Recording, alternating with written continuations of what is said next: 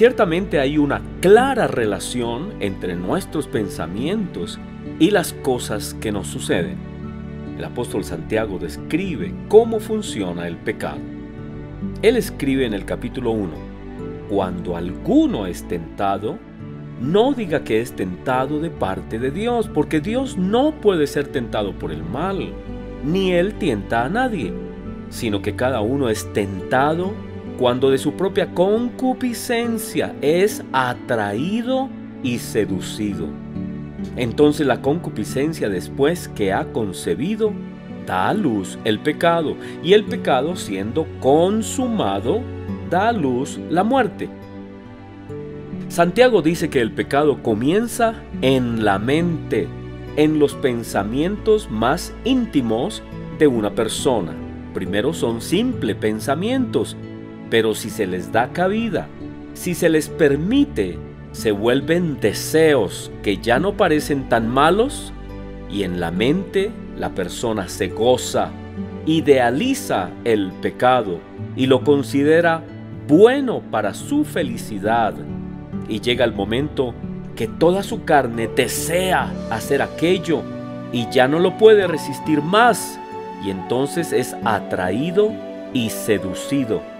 Anhela el momento de hacerlo, busca la oportunidad y finalmente lo hace, lo lleva a cabo, lo realiza, pero cuando llega la realidad se da cuenta que las cosas no eran como se las imaginaba y el pecado da a luz destrucción y muerte, sufrimiento y dolor. Sin duda alguna, lo que haya en nuestra mente se puede volver realidad. La pregunta es, ¿qué pensamientos entretiene usted en su mente?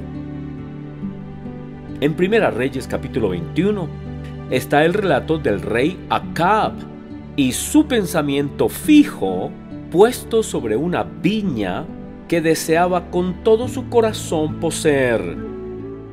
Soñaba con ser el dueño de esa tierra Solo que había un problema. Esa viña era de un hombre llamado Nabot y él no la quería vender porque era herencia de sus padres y lo que pensaba dejar a sus hijos. Entonces Acab se entristeció, se enojó tanto que no quería comer, porque en su mente tenía muchos planes para esa tierra, y se lo dijo a su mujer Jezabel. Y ella, ni corta ni perezosa, levantó falsos testigos que aseguraron que Nabat había blasfemado el nombre de Dios y lo hizo matar. Entonces Acab tomó en posesión la tierra de Nabot. Todo comenzó en los pensamientos del rey Acab. Se imaginó tener aquella viña, la decretó para él, la confesó para él, la deseó para él se imaginó todos los beneficios de tenerla, se imaginó gozándose en esa tierra y en sus pensamientos se convirtieron en realidad, porque los pensamientos se pueden volver realidad. Pero el Señor Dios lo llamó a cuentas y le hizo saber que moriría y los perros lamerían su sangre y su descendencia sería destruida, ninguno de sus hijos sería rey. La pregunta es, ¿qué pensamientos motivan su vida, sus acciones? Recuerde que sus pensamientos se pueden hacer realidad y le pueden traer bendición o mucha destrucción.